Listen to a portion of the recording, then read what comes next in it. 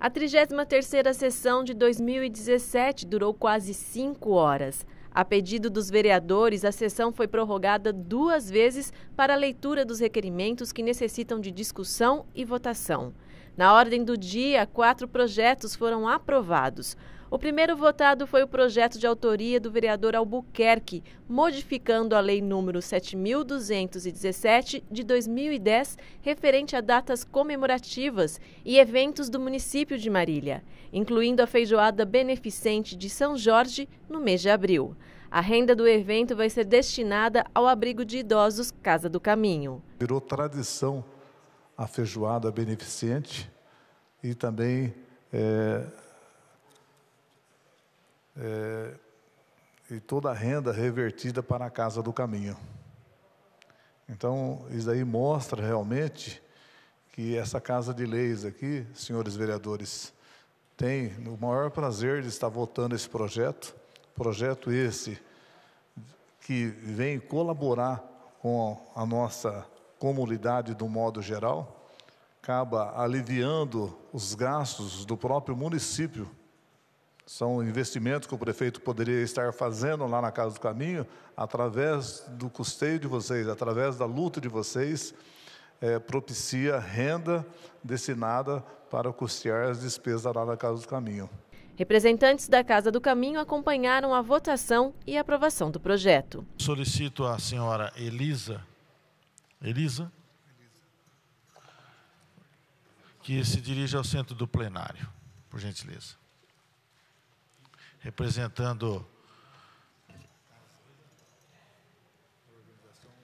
a organização religiosa Templo das Águas de Iemanjá, que se dirige ao centro do plenário e convida o vereador Albuquerque para que faça a entrega a ela de uma cópia do projeto de lei que acaba de ser aprovado por, uma, por votação unânime dos senhores vereadores.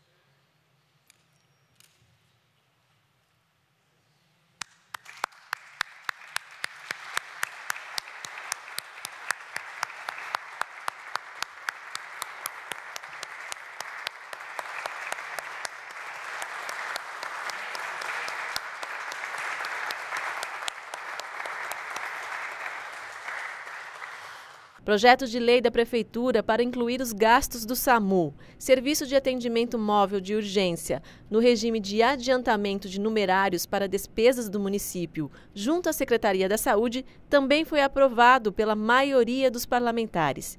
Em discussão única, o parecer da Comissão de Justiça e Redação, exarado na correspondência número 2257-2017 da Prefeitura, recebeu o aval dos vereadores para a outorga de permissão de uso dos bens públicos municipais existentes no empreendimento Esmeralda Residência 2 à Associação dos Proprietários e Moradores do Loteamento. Outro parecer da Comissão de Justiça e Redação deu permissão de uso do conjunto desportivo Yusaburo Sasazaki, no bairro Nova Marília, à Associação Atlética São Bento de Marília.